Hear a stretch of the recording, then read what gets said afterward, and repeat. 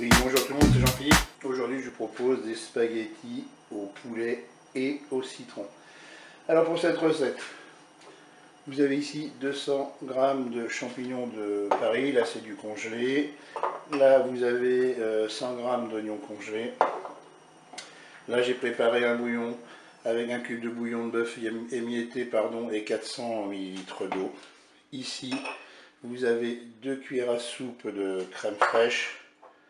Là, vous avez 2 cuillères à soupe de jus de citron. Vous pouvez faire du jus de citron euh, avec du citron frais. Là, j'ai 400 euh, g d'escalope de poulet que j'ai coupé en morceaux. Là, vous avez 280 g de spaghettis, ça fait 70 g par personne, puisque la recette est pour 4 personnes. Là, j'ai du persil euh, déshydraté, je vais en ajouter. Là, j'ai 2 cuillères à café d'ail déshydraté. Il me faudra de l'huile d'olive, du sel et du poivre. Et eh bien pour commencer cette recette, on va se mettre en position manuelle et en fonction dorée. Je vais maintenant euh, ajouter mon huile d'olive euh, dans la cuve.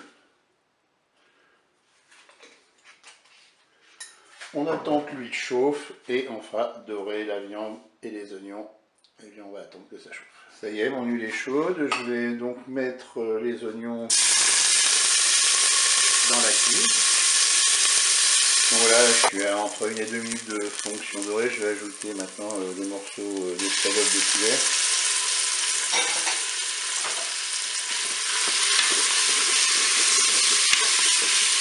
Et je vais ajouter mon ail déshydraté.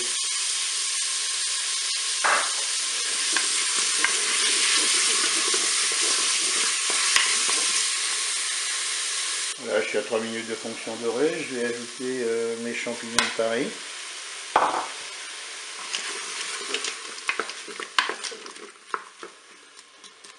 Eh bien, je vais saler. Je vais euh, poivrer légèrement. Je vais saupoudrer avec du persil. Si vous avez du persil frais, euh, n'hésitez pas à en mettre. On mélange un petit peu. Voilà, maintenant je vais déposer mes spaghettis donc, que je coupe en deux euh, dans la cuve.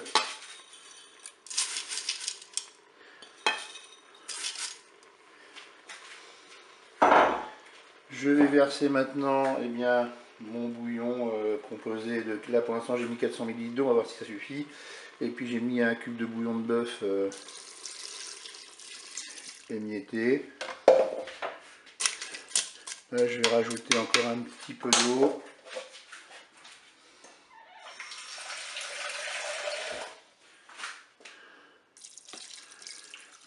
Je sais que mes spaghettis euh, soient recouvertes. Voilà, là on est pas trop mal. Et maintenant, on va programmer euh, la cuisson. Alors, on va arrêter la fonction euh, dorée, on va passer en cuisson rapide. Et là, pour la cuisson, c'est simple, je regarde le temps indiqué sur le paquet de pâtes. Moi, c'était 8 minutes et je divise par 2. Donc là, ça fait 4 minutes. Je fais un départ immédiat. Je peux fermer mon couvercle. Et je vous dis à tout à l'heure pour la suite euh, de la recette. Allez, la cuisson est terminée. On va ouvrir notre cookéo.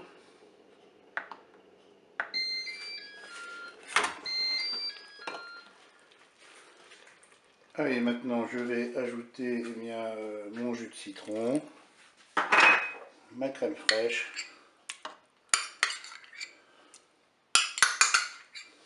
je vais mélanger.